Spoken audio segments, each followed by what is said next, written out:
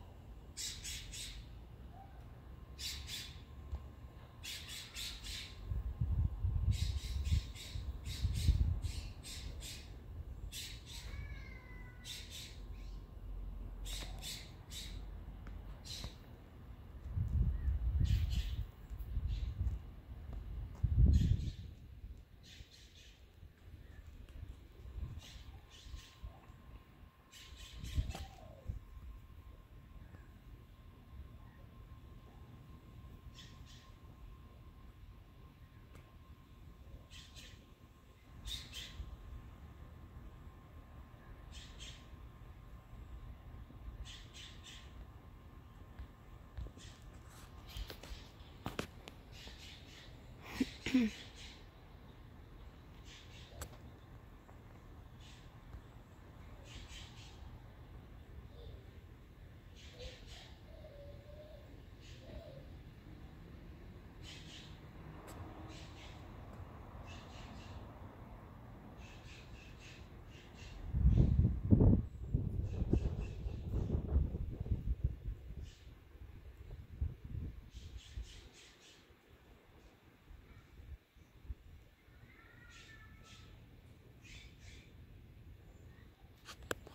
God bless you all.